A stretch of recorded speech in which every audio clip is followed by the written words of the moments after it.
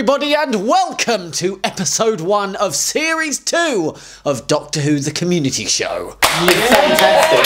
I'm, I'm in tears. I'm in. I'm crying. Well, it's been over a month since I last saw your community show fan faces, so let's catch up. Christmas has been and gone, so expect a few Christmassy projects and things pop up. Consider them presents from Nick Frost Santa. My birthday also happened in December. Happy birthday to me. Got a couple new cosplay things being delivered. They're taking a while, but you know what? That's fine. I just want that new coat so bad. But that's in the past. Let's focus on the future as I tell you some of the exciting things you've got in store. First off, the interview guest is none other than George Sheard. He was kind enough to come by the flat and let me interview him here. That's a first. I'm saying this as if it's already happened, but I haven't done it yet. Filming's fun, but expect some insightful questions as well as a fun little game.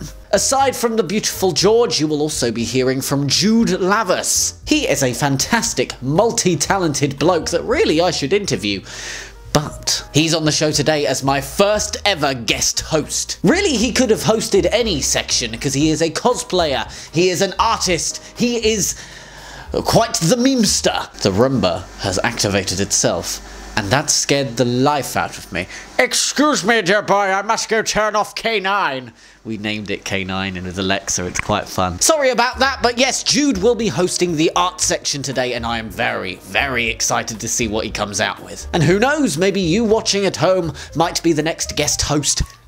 There's no barrier of entry. And finally, before we get this show on the road, it's competition time. Oh yes! Just like I said in the update video, we have got challenges this time. Here's your first one.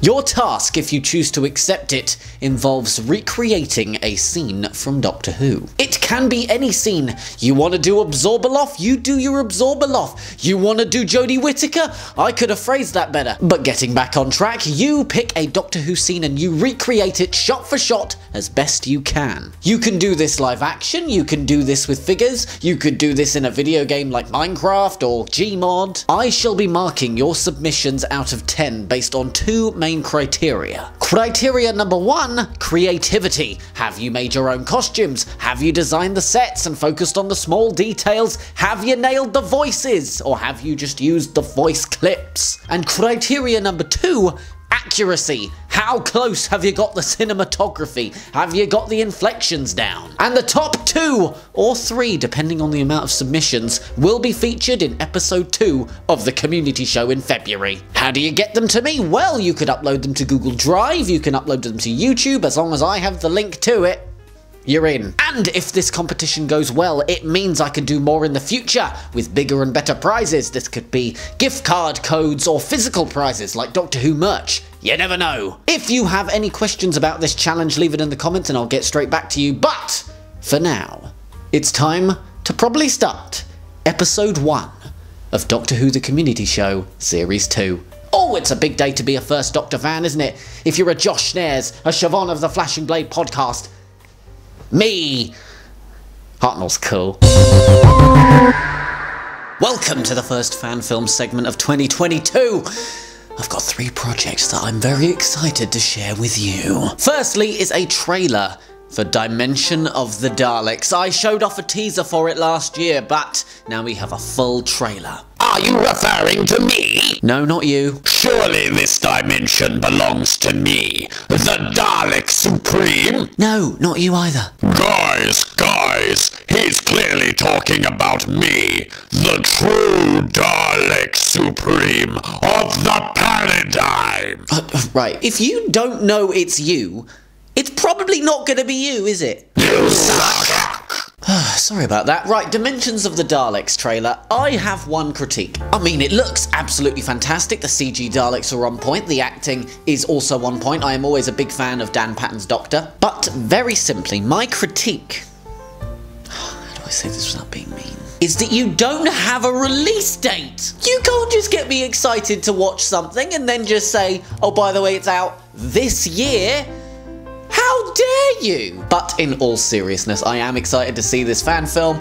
I'm sure a lot of you are too, and the views on this trailer alone show that there is a lot of hype to this. Not the views are everything. And yeah, check out the trailer if you haven't. Go and subscribe to his channel so you don't miss it coming out. Here's a segment of the trailer. Hail the Daleks! So, the music in the trailer is actually copyrighted, and uh, to get my monetization, I've got to just mute it. Run. Although the words still pop up. I only hope that my failure Oh, that's fun, isn't it? leads to your victory. Look at these pretty visuals. I could kiss him. Kiss that damn pattern. Oh, beautiful. The next creator I'm going to be featuring here is also one I mentioned last year. I do intend on having more different creators this year, but that's not to leave the others in the dust. This is Nicky Boy Crow. He released a Christmas fan film titled The Autons of Christmas. I mentioned his Halloween one last year, also out of date. Look, it's the timing wise of the show, it doesn't match up. Expect a few Christmassy bits to sneak through this episode. But I love these fan films, and I'll tell you why. It's exactly the kind of fan films I have made in the past. I relate so hard to this fan film. I don't know about you, but I've tried to make fan films in the past, and it's just a lack of people. You know, you don't have the actors to pull off what you're trying to do, so you just play everyone. I love that. I absolutely adore that about this stuff. And Nicky Boy Crow, it must be said, your Doctor cosplays so far are on point, both for the Halloween one and this. So, you're doing well, my boy. Highly recommend checking this out. I see this creator going far. At least I'm here, which is a good thing. Oh, on into the woods. Ah, hello Doctor. Nice to see you. I know it's not much, the unit has gone down a bit, you know, with the budget and stuff, but we're still saving the world as usual. I have magic powers. I see the future, and the future holds. One more person being shouted out in the fan film segment. How could I have known? I am psychic. Finally, in the fan film segment, there is Time Lord Productions with the Dalek Stratagem. Yes, the Daleks are reigning supreme. All hail the Daleks. All hail the Daleks! Shut up! This is episode 2 of series 1 of their fan films, and it definitely shows a lot of promise. And you know what? I think it's appropriate to read the synopsis. The stakes are high for the 14th Doctor when he comes face to face with a Dalek fresh out of the Time War. With plans to turn Earth into a mass production for weaponry, and a Cyberman attacked by the Dalek who sets out for revenge. Reading that synopsis reminded me they indeed have an excellent Cyberman cosplay, a Mondasian Cyberman. As someone who is currently trying to make his own Cyberman costume, I must say, it's aspirational to see. Damage levels insufficient. Exterminate!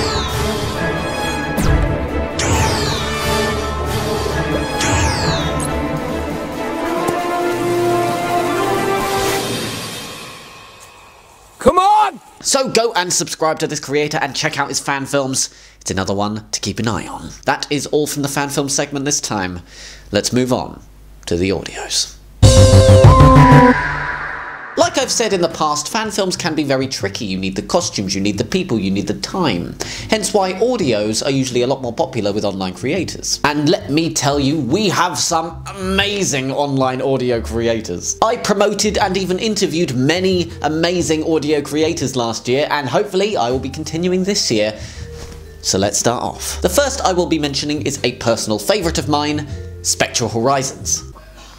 Bless you. They have done some amazing stuff in the past, and December of last year was no different. They set out to tackle an anthology series, the Winter Solstice Anthology Series. The link to the full Winter Solstice Anthology series will be linked in the description below, as well as everything I'll be mentioning today in order. In particular, I want to mention that being The Little Town and the Giant Goat. This is set during Eleven's time on Trenzalore, Cyberman attack! Cyberman.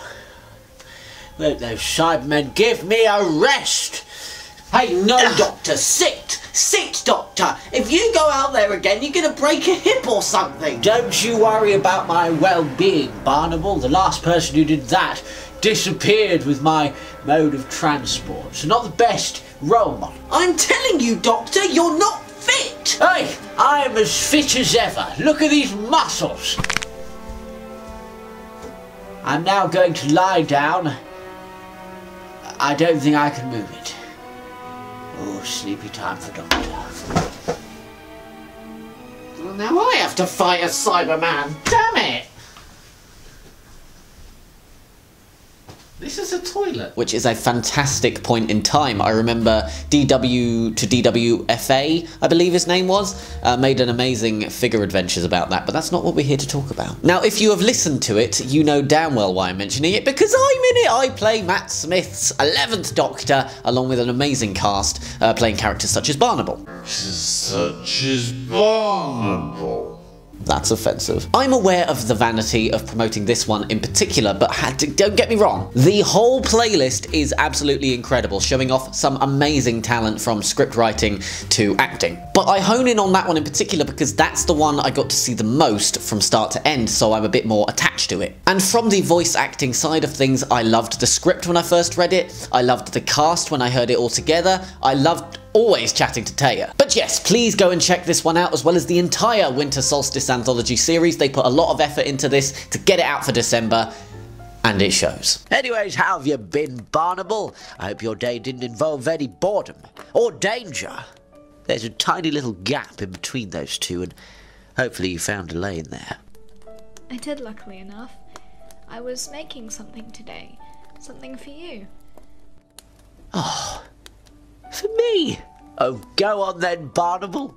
Speaking of putting a lot of effort into something, Rassilon Productions has been, uh, has been hard at work. Chances are you know Rassilon Productions, aka Rory, for one of two things. You will either know him as the creator for the Dark Days audio series, or you'll know him as one of three guests I had at my MCM Comic Con panel last year. Yes, I'm still bragging about that. This particular huge project is called Endgame of the Doctor. When he first told me about this project, I thought he was kidding because I was like, there's no way you could do something this big. That, that involves too many people. But then slowly over time on Twitter, I saw certain names being confirmed for this project, including my own, but we're not going to focus on that. You will no doubt recognize a lot of these names in it. For example, Dom and Meg from DW 2012, George Guidera, Connor Chadwick, Alex Baxter Scott, Cliff Chapman. There are so many of these names in it. And it's only part one. As his timeline was being untangled, he remained within the confines of his ship with his head in his hands. He looks towards the ceiling of his ship and begins to ask himself about how much time he has left, and begins to ponder the possible outcomes of what just happened. His attack eyebrows focused on his console as he got up and walked towards them. To the Pyrion invasion. Pyrion invasion? God, I'm good at this pronunciation, aren't I? This is by a new creator I found, Hill Productions. And once again, it's a Christmas special. Yay! I'm aware it's not quite the season for a Christmas special, but maybe save this one in a little watch later playlist and save it for December or November of this year, because it's so cool. It's got a great cast, great premise, another fantastic original Doctor. There's countless of those now, good lord. And why not? Let's read the synopsis together, shall we? The Pyronian Empire has arrived on Earth and is hunting for an escaped prisoner. The freshly regenerated Doctor and his friend and companion, Phoebe, are thrust into a middle ground between the Pyrans and their quarry, determined to stop the situation escalating any further. With the Doctor still feeling the effects of a traumatic regeneration, and with the chances of a peaceful resolution quickly disappearing, anything could happen. If that sounds like something you want to see, go and check it out. Don't be a Scrooge, yeah? It's January. This feels weird saying that now. Basically, what I'm trying to say is screw the universe. Let's go find our friend. Come on. That. You just said it was impossible. Yes, well, like Alice, I tried to believe six impossible things before breakfast. Hey, can you believe it? It's not butter. I can. It's one of the five impossible things I'm embracing today. Finally, something else I'm in, lol. the Queer Doctors series is something I promoted in one of the first couple episodes of the community show. It's about an original Doctor played by James York, and based on the title, The Queer Doctor, you can guess what his gimmick is. Is gimmick the right word? I don't know. I love this TARDIS team, by the way. James York and Grace Beard are fantastic together, especially in the script reads I was with them for. This two-parter is called The Lone Soldier, and it is a Sontaran story. You know that Sontaran adventure games where it's the Sontarans, but they're back in time with Guy Fawkes and stuff? stuff. It gives me that vibe, but swap Guy Fawkes for what I play, Bram Stoker. I had to do an Irish accent, so any Irish people watching that, I'm sorry, but blame Chelsea Lagan, because she's the one that sort of coached me on being Irish. So, her fault if it's bad. Loved playing Bram Stoker in this, absolutely loved the cast, was a fantastic time. Also, a big shout out to Matthew Chambers, who plays the Sontaran, because even in the script read, he was giving it 100%. So hell yeah. Here's a clip! Any chance of a sequel? the uh, undead do not stay dead for long. Lady Erin, what a nice dress you're wearing. You're Bram Stoker? Yes, that is my name. You look a little pale. Have you met my dear friend? There ends the first audio productions segment of the year. Moving on. So, what do you think's going on here? This is literally blowing my mind. My mind is exploded. Exploding mind. Oh, now I've got a funny story about this one. Matt, as one of the doctors, what's your take on this? What's up, guys? Welcome back to another episode of Visual Effects Artist React, and today we have a very special guest. But Nicholas, yeah, Ron, with a W. Where is he? Whoa! Hello, I'm the doctor. Matthew Smith. Matt Smith. Matthew Smithington. Or just Matt. All the way from England. Or Gallifrey if you're a big old nerd. Well, when you're on this couch, you're automatically a nerd. You can also uh, catch me in Edgar Wright's latest movie, Last Night in Soho. So, plug. Today we're going to be looking at some Doctor Who visual effects and getting your take on them. As we have someone from the set here on the couch, hopefully you can give us some insight. I have got some stories to tell. Alright, let's jump into these effects. Don't interrupt me. Uh, uh, sorry.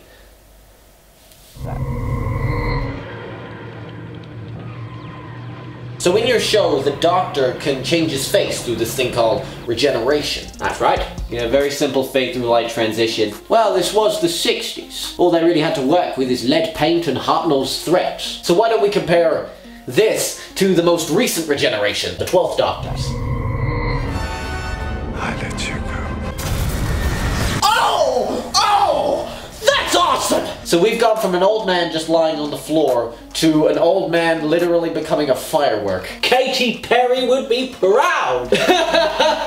you wanna know what I wanna see? I wanna see something from your time on the show. Oh, goodness. I hate watching myself. Oh, really? Nah, just kidding, I'm sexy. In that battle, there was a man with more blood on his hands than any other.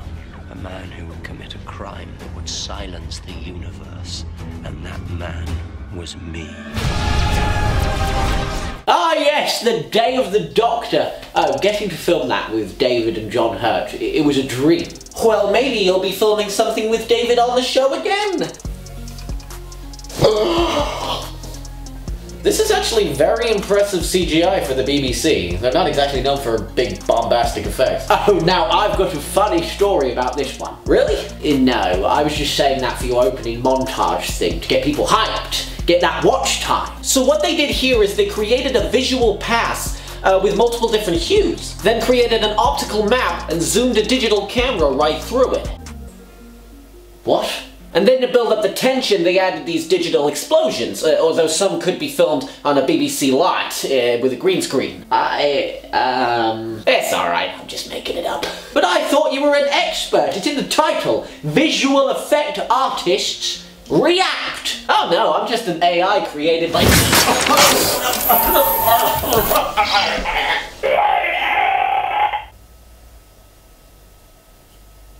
Thanks for watching this latest episode of Visual Effects Artists React. Don't forget to check out the Stuntman React and all the other reacts. We got lots of reacts. And if you want full, extended cuts of these episodes, don't forget to head on over to the website. I'm leaving now. No. No, you're not.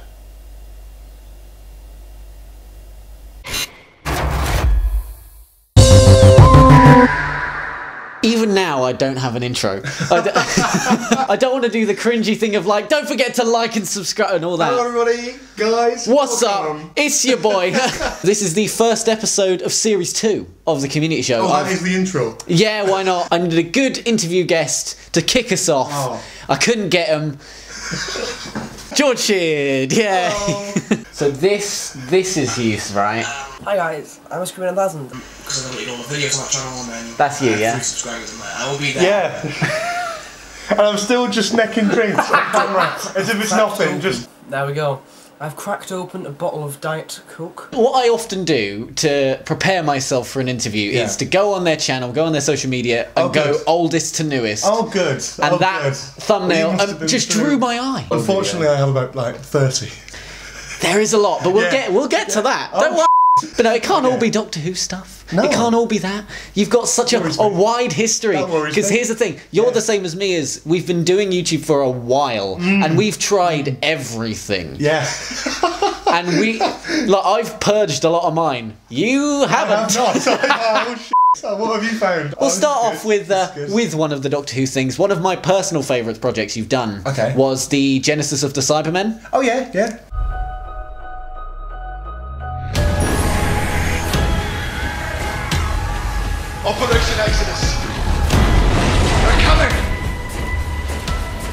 Cybermen are coming! When you showed off the trailer initially, I remember retweeting it. I was uh, very impressed, and then randomly you DM'd me the full link to the whole thing, and I was like, I was "Oh, just like, check this out." Yeah, check it out. Where did the idea of doing that came from? It was like a thing where I think I put on Twitter. I, I, I watched what is now my favourite film, The Lighthouse, which is a sort of black and white kind of noir horror. It's fantastic if you haven't seen it already. It's brilliant. But I saw that and I put something on Twitter going like, "Oh, it'd be great if Doctor Who series thirteen had like a full black and white like." Kind of aesthetic episode where it sort of changed the format up a little I bit. bet you got really excited in that moment where you see the house and it goes black Yeah, I and white. for a was, and I was thinking, You're where, like, I, I was just waiting for my check in the mail, to be honest, but I didn't didn't come. I like that idea, and I think a lot of people liked it. And I was like, okay, well, I'll, I'm going to try and edit it, and I'll say, right, okay, what episode? If like anyone could pick an episode, everyone went for World Enough and Time. I sort of did an edit of that.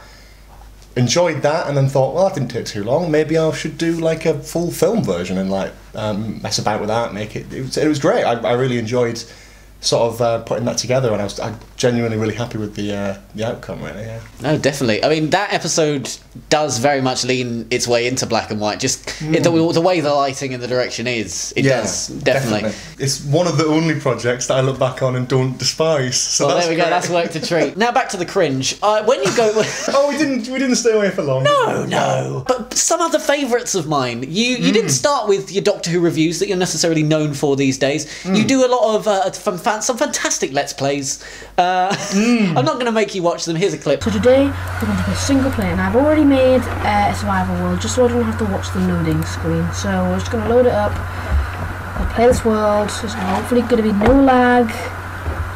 Look how smooth this is. Lovely, lovely. Thank you. I don't even know what that's going to be, but I'm excited. You can see the slow sort of transition into your Doctor Who stuff because you start with the Minecraft, then you go to the FNAF. A lot of people aren't aware of that. That's really interesting because I've got done like live streams and people have said like, "Oh, it's talking about the new Five Nights at Freddy's game." Totally unaware of the fact that my channel was that for about three years. and then you can slowly see as you go Yeah. into Gmod, like you, the, the occasional like Doctor Who thing will pop up. Then you you get your face more involved, and you can see sometimes in other people's channels you can see it's quite clearly. Okay, we've stopped that now. Moving on to the next thing, but you, you could, it's like slowly working your way through Yeah. to what you're doing now. Yeah. It's very peculiar. I wouldn't recommend it, but if you I would. it, Going back to something you make me more proud of, uh, I was surprised to find that your charity stuff started quite a while back. You started in about 2016 doing charity live yeah, streams. no, that was interesting. I think like I mean I don't know if you're aware of the the Yogscast, Mm. sort of like a channel. Love sort of the Yogscast. I I loved them when I was younger, and they well, the of my- Minecraft does show it. Yeah. and that was one of my main inspirations for YouTube, which is why I did so much Minecraft. One thing I really loved of theirs, they did this sort of like charity thing every December. Oh, and they the Jingle Jam. The Jingle Jam, and they Mm. still do it where it's like a different,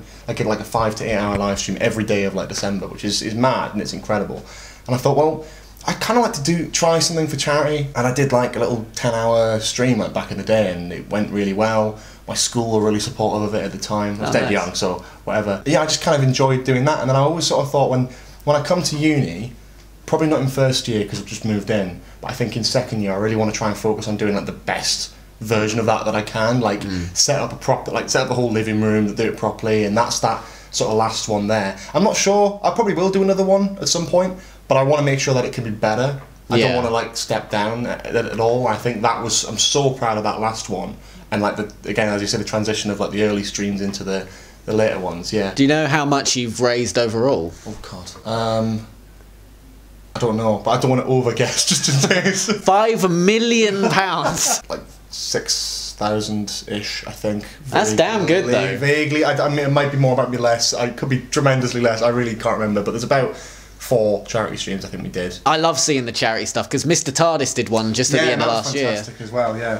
I Yeah. absolutely love that. So you are known for quite a lot of things now, not just Mm. sort of in the past. You've got your Spill Your Beans podcast. Yeah, You've got your live streams you do. Me and Gemma like uh, tuning in. Yeah, I see. I see name pop up every now and then. Yeah, same with what is it? Jude. Jude pops up. Yeah, yeah, I love yes. Jude. He's hilarious. Yeah. You've even cameoed in EastEnders, which was a which was the funniest I can't thing. believe that's been brought up, but that's yeah, I did. Yeah, Yeah, the just boogie having in the a great background. time, Having a great time. Oh, it's brilliant, and I oh. love seeing people bleed into the mainstream media. Yeah. because obviously you work predominantly in sort of.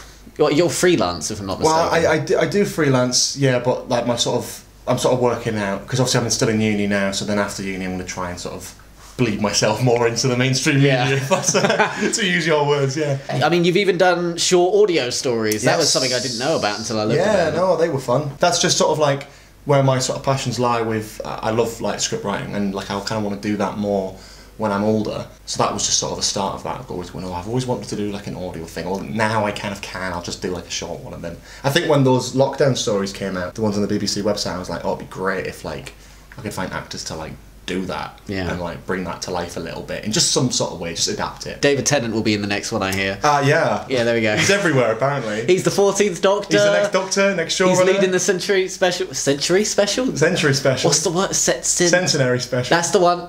I, I talk good. Yes, like I said, spill your beans, live streams, EastEnders, short series. The, the question is, the burning question that everybody needs to know is what's next? oh, what's on the horizon for the Ace Creeper YouTube channel? I really don't know, actually. That's a disappointing answer. But at the moment, I'm trying to develop some projects, a couple of short film things that I'm developing at the moment. One with uni, one sort of separately from that. So I'm hoping to get those kind of out there in the next year or so, hopefully online. Beyond that, yeah, I'm I'm I'm going to be trying to work, and then on in my free time, do some script writing, do some sort of development, probably do some more freelance stuff. When I think of something Doctor Who related, I'll probably throw something out there. I mean, there's plenty more episodes to come, isn't there, with this new era? So Mm. whenever the new Doctor gets announced, that's going to be a big. Oh yeah, and I can't wait yeah. to see the thumbnail where the George Sheard pose, which I will call it. Uh, do you want to know what it is? Go on. The George Sheard pose. So I've got this here. You get a sonic screwdriver, right? you you look to the camera, sort of on the side, and you go. That's it. It's in every Flux review, and it absolutely um, cracks me up oh, every oh, I, can't, time. I don't know what to do. I'm just sort of like, oh, I've got to have a photo for the thumbnail. I don't know what to do. And I always used to do that. Oh, one man setup over here. I haven't really got a fancy little button to like click my camera, so I've got to like press my space key. So I've got to kind of like stretch, stretch one hand underneath there, so it doesn't look like I'm leaning, and then do it. Oh, horrible. Look, it's not fun for me unless I get to make fun of whoever I'm interviewing. But yes, that is the end of my questions. It's it's sad. It's sad to see. This might be one of the shorter interviews, and I should have planned more. if you want more George Sheard action, tune in soon as we go head to head in Trivial Pursuit Doctor Who edition. Oh dear. Oh dear.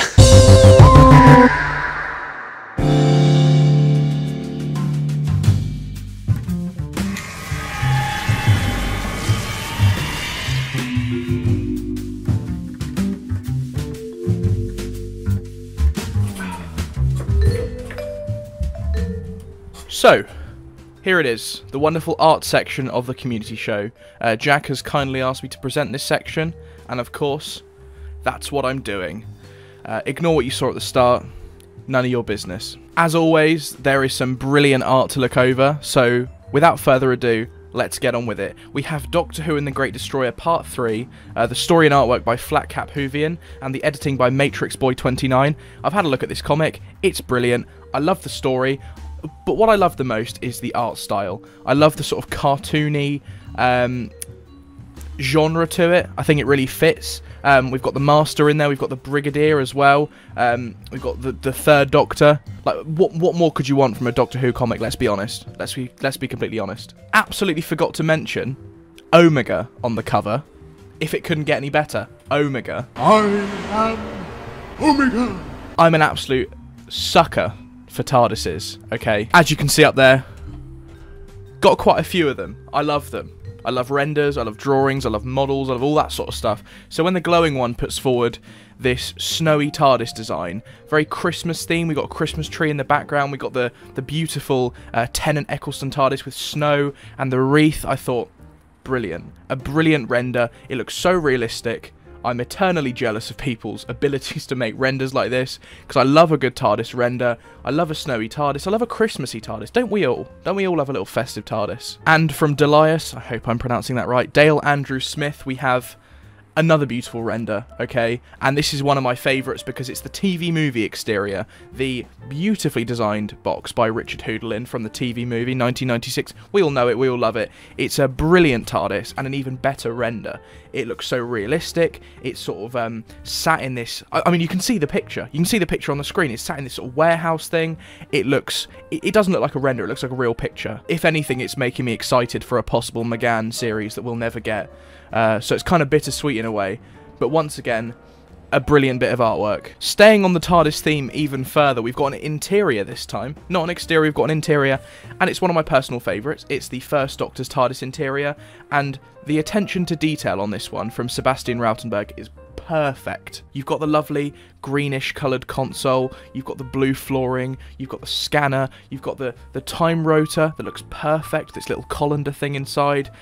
The whole thing is lit beautifully, it's rendered beautifully, it's a work of art, and I absolutely love it. Moving off the topic of TARDISes, we've got some Daleks, the mortal enemy of the Doctor. I'm a massive Dalek fan. Ignore that Cyberman behind me, he means nothing. I love a Dalek. And from Jackson Temporalson, we've got some beautiful Dalek customs, some beautiful Dalek pictures, some beautiful Dalek posing. I am jealous. I love a, I love a good Dalek photograph. I love a good Dalek pose. I love a good Dalek scene. And Jackson has absolutely smashed it out of the park. Once again, like he always does, let's be honest, he always smashes out of the park. Some brilliant Dalek photography, some brilliant Dalek customs. As you can see on screen, you can see them with your own eyes. And another fan comic. Last, but definitely not least, we have this absolutely brilliant First Doctor fan comic from the undocumented one. It's always good to see some love for the First Doctor. I don't think he gets enough love. And this fan comic is a perfect representation of the love I think the First Doctor deserves. We have the Undocumented Ones comic. It's brilliant. The drawing is brilliant. I love the art style, sort of muted colours and tones that just sort of perfectly fits the First Doctor's era. We've got a bit of political satire in there as well. I love that too. Absolutely brilliant bits of artwork. It's been a joy to be on the community show. Thank you for having me, Jack. Obviously, enjoy the rest of the episode. If you want to find me, my links are probably in the description. If not, I'm at underscore pig in tea break on uh, Twitter. And then from there, that's where you'll find all of my links. Uh, thank you for having me, and I hope you enjoyed the segment and all of the wonderful artwork. what were they thinking? I have been a lover of cosplay from a very early age. Stop it. And clearly I'm not alone. Here are three cosplayers I've had saved away for episode 1 to show off. Firstly, there is Gothic Princess 98. And it's a cosplay you don't often get to see. Gwen Cooper from Torchwood. You might recognise those steps she's standing on as that is where we did a Comic Con cosplay meetup. And you can even see me in one of the pictures. Look, there I am. There I am. You could tell I, would, I wasn't ready for it. There was a lot of cameras. I never saw a lot of those pictures, and I came out not good in every one of them, so that's gone well. But either way, Gothic Princess, you're rocking the Torchwood get up. I don't think I actually got to speak to you or, or see much of you at that meetup. I was a little bit too awkward to really socialise too much, but you look great. Next is Owen Luckhurst, also known as Dr. Disco. Did somebody say uh, disco? I've got the chocolates. Yeah, I know Owen because he works at the Who shop, and when I went to visit with Katie Haynes, he was the one behind the counter. And wouldn't you know it, he's also a fantastic cosplayer who goes to things such as the BFI events. He also went to a convention where he met Jo Martin and Sacha Dhawan. How very, very dare you. See, this is why I need to do more Doctor Who based conventions. I haven't done one since like Doctor Who Festival back in the Capaldi era days. Phantom Films, Capital 5, looking at you. But anyway, Owen, he cosplays the 13th Doctor and looks damn fine doing it. I do love a good gender bend when you take a uh, normally male or female character and you swap it around or you just dress up as it for fun anyway. Because who cares? Clothes, isn't it? Looking good, Owen. And moving on to the third and final cosplayer of this section of episode 1 of series 2. Jean-Luc, also known as the other Harry on Instagram, looking good as 10. Hi, Ash. I also do love the caption, tired Docky Who. Sick. That's a big mood right there. I mean, what else is there to say? It's a 10th Doctor cosplay in the woods. You got the hair spot on, you got the fantastic suit, we, I'm, I'm assuming Magnoli Clothiers. All I have to say, once again, hi Ash! You gotta love a bit of 10 in cosplay. Not wearing the right clothes for this. Oh. But that is it for the cosplay section. Hope you all enjoyed. Moving on to the next section. I thought it was about to fall on my head. I saw my life flash before my eyes. Here we are, at the very end of the first episode of the Community Show Series 2. Ah, it's been fun. but before I say goodbye, there are a few more promotions I wanted to show you all. Firstly, there is Doctor Who Poop Shorts, which just don't miss! I have been replaying this goddamn song in my head ever since I first heard it.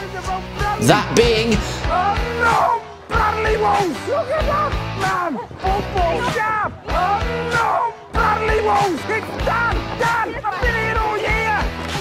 Do you even come up with that? How do you watch that little video that the Doctor Who official YouTube channel comes out with and goes, oh yeah, I know what to do with this. My god, Jerry, George, the two folks behind Doctor Who Poop. Oh, and Shay.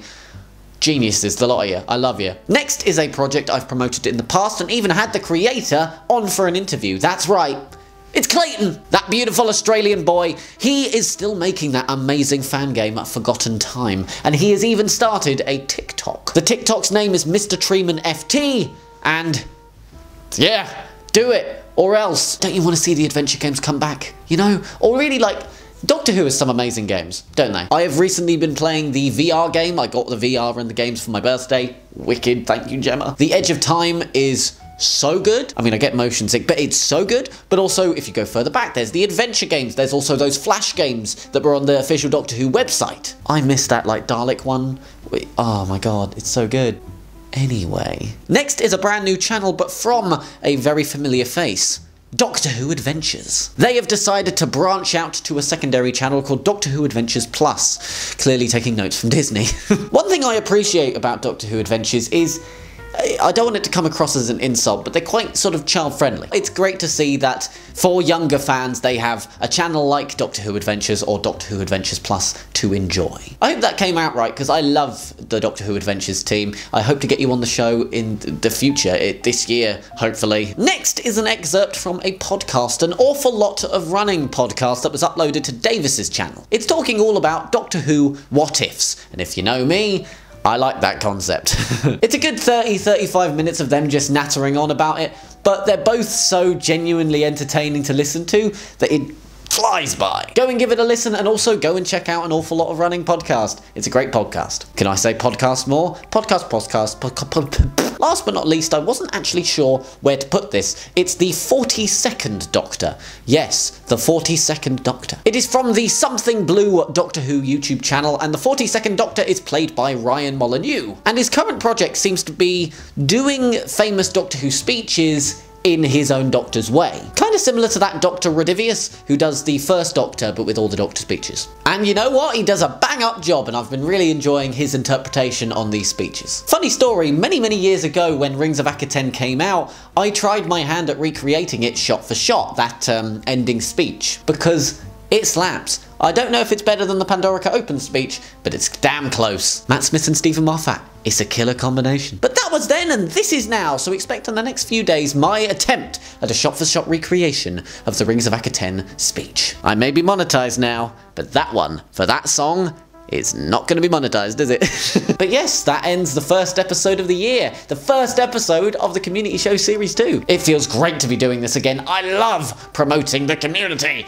It fills my veins with dopamine. A big thank you to George Sheard for coming to my humble abode for an interview. It was awesome having you over. Probably. I'm filming this bit in advance. I haven't seen you yet. but yes, thank you, George, and thank you all for watching, and I will see you all in episode 2 at the end of February. Bye bye!